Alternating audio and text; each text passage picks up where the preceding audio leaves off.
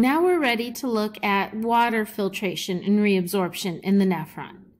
So remember that you have about five liters of blood total.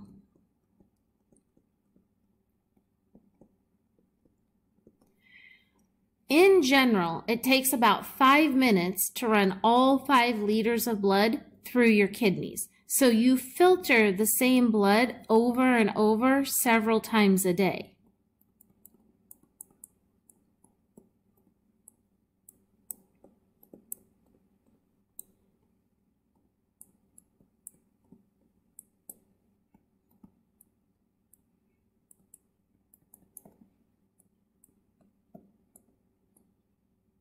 Each time you filter your blood, water is removed.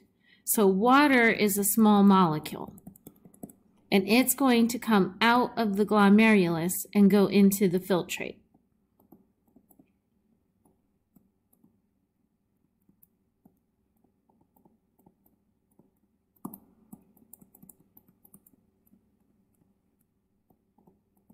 So here's the amazing number. You have five liters of blood, but in a single day, you will remove 180 liters of water from your blood.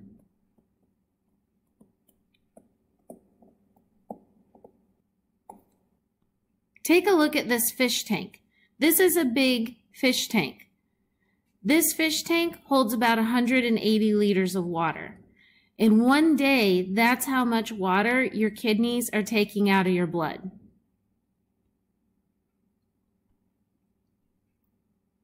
Now, think about how much urine is produced. We already covered that in an earlier video.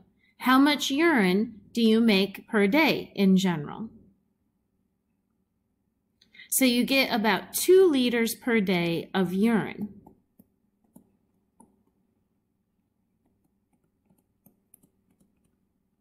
That means that you're reabsorbing 180 liters per day.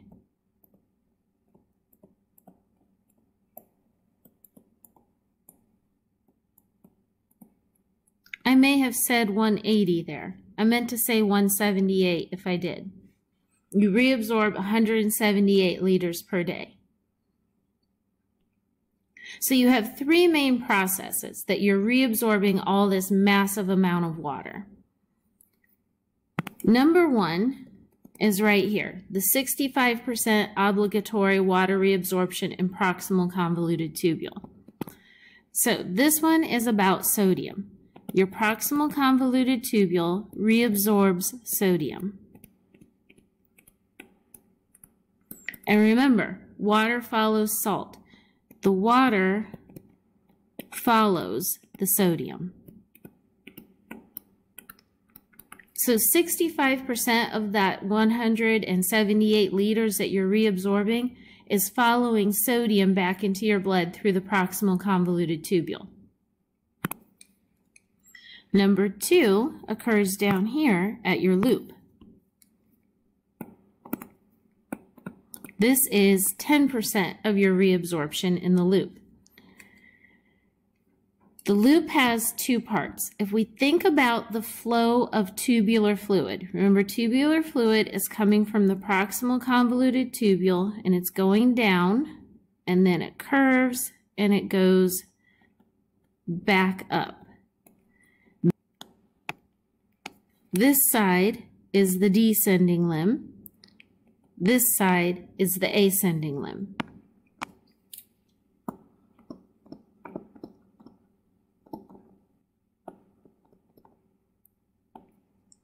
The descending limb is where the fluid is going down. That's why it's called descending.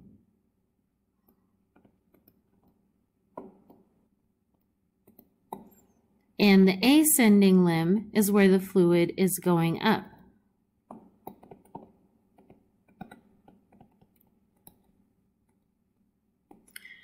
Blood flow is the opposite direction.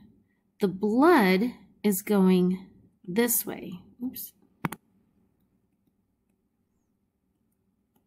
So the blood and the fluid flow in opposite directions of each other.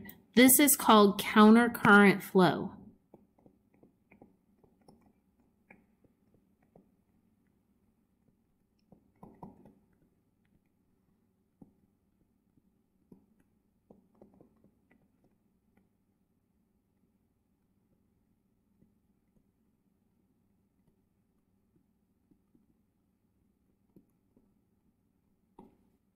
So the ascending limb of the loop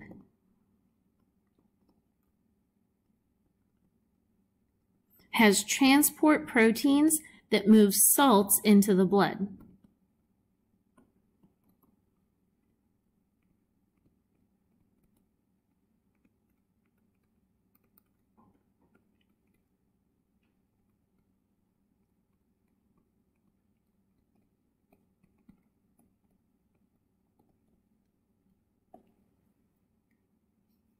So salts would be moving into the blood right here.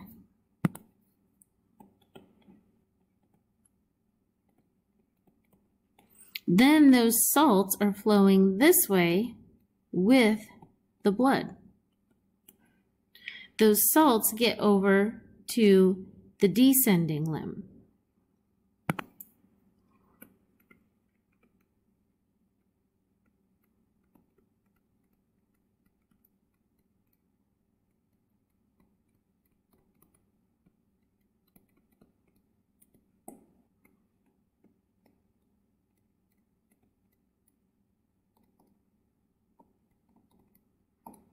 Water follows salt.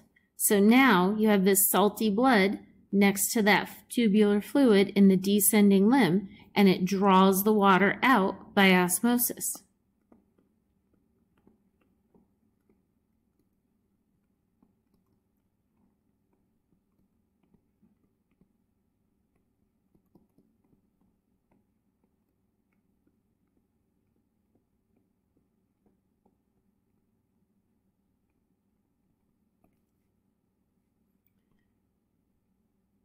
Then the third method is over here, the regulated reabsorption. So this is called regulated because hormones control it. And you can change the level of the hormones in order to change how much water you reabsorb here.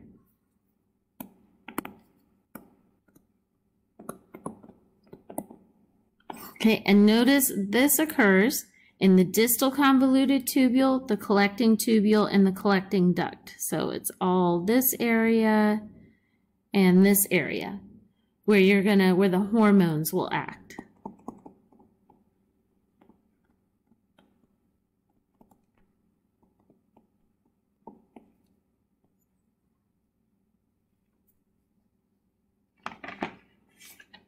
So we have two main hormones that are going to act here we have aldosterone. And remember, we already talked about it. It causes the nephron to have more sodium potassium pumps.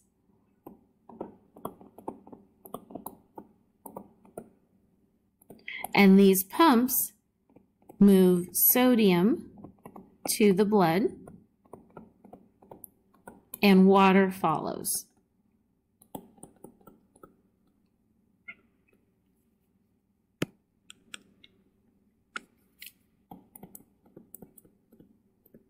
So the more aldosterone you have, that means the more sodium potassium pumps you have, which means more sodium into the blood, which means more water to the blood.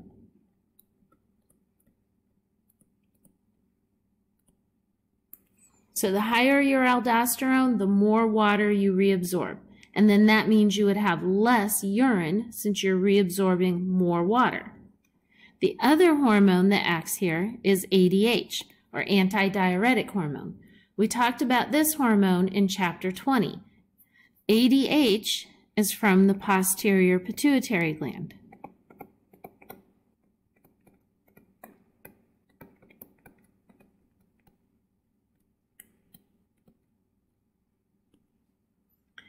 It stimulates the nephron to have proteins called aquaporins.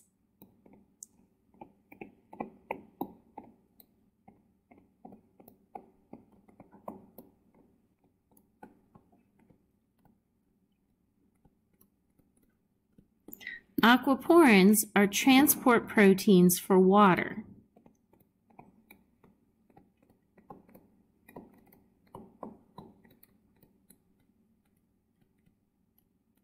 They move water into the blood.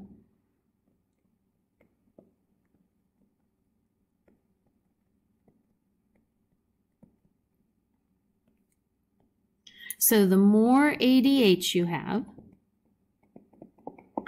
means the more aquaporins you have,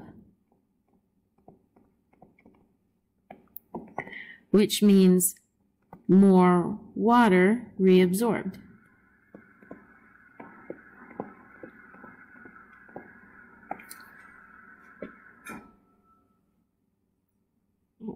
So that is water reabsorption. You have 180 liters leave per day, but through these three methods, you get 178 of those back and you have 2 liters of urine. The next one to look at is calcium and phosphate. So this goes back to chapter 7. You're going to have to think back to chapter 7 for a few things. The first thing to think back to chapter 7 for is what is the job of PTH?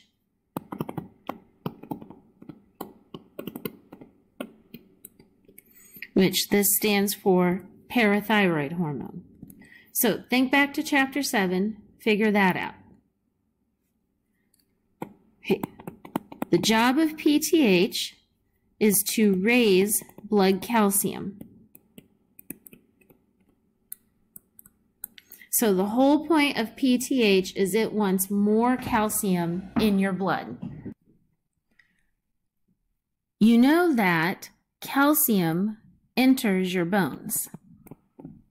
Remember we talked about bones are the bank of calcium. But if you recall, calcium doesn't enter your bone alone. It has a partner.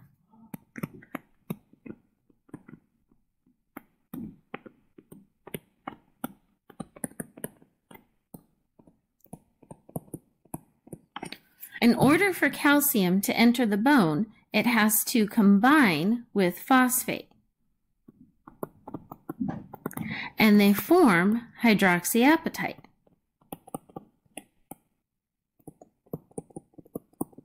And this is what then enters the bone.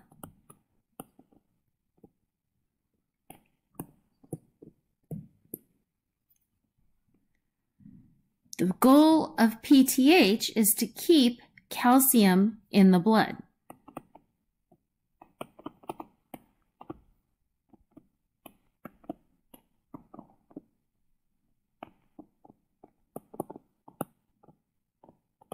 One of the ways to keep calcium in the blood is to prevent it from entering the bone.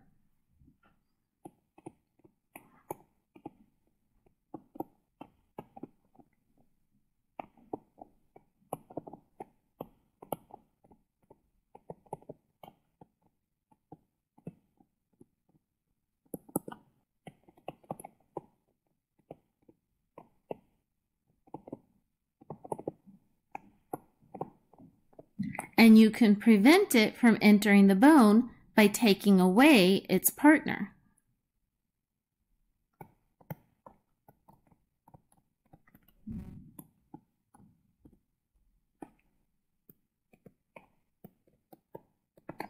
So if you notice here, PTH inhibits the reabsorption of phosphate.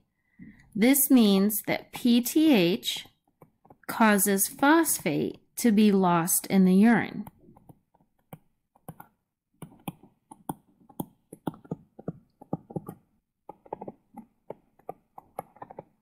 So if it's lost in the urine, it's therefore not in your blood.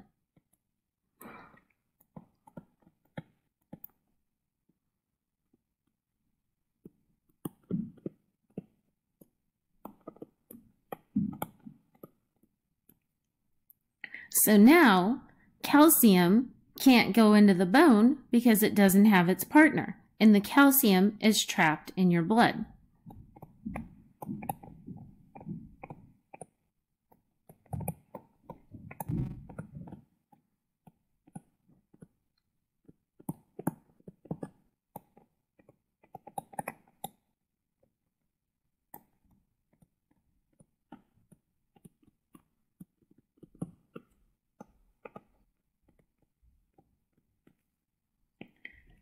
PTH also makes sure that you reabsorb calcium. So you're raising the calcium level and decreasing the phosphate level in the blood when you have PTH. Our final topic here is pH. So we've talked before about the importance of pH in the blood. So remember what is the pH homeostasis level of blood?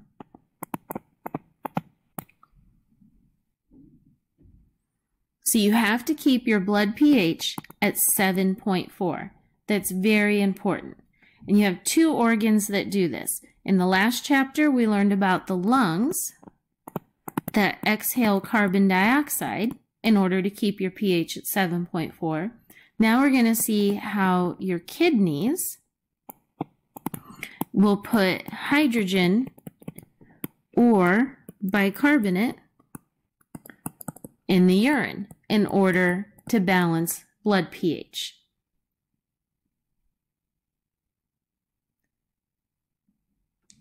There's two different types of cells in the kidneys. We're going to have type A cells and type B cells. We'll look first at the type A.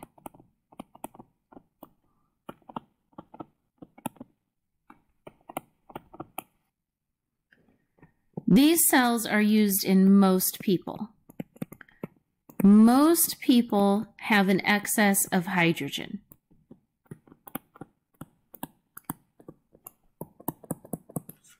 This means that you need to get rid of the hydrogen. So type A cells will send hydrogen to the tubular fluid so that it can then be lost in the urine.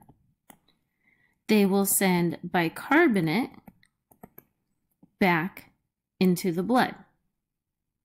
So you're always sending hydrogen and bicarbonate in opposite the directions. This way you will lose hydrogen in the urine. And that way you can keep your blood pH at 7.4 by getting rid of the excess hydrogen. The other type of cell is the type B.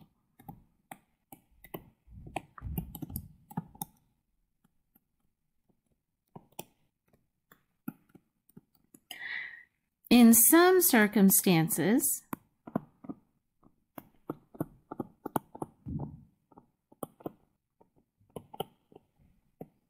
such as being a vegetarian?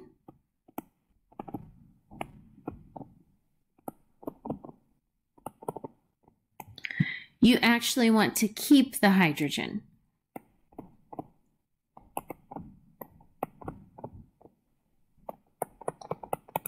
So then you will use your type B cells.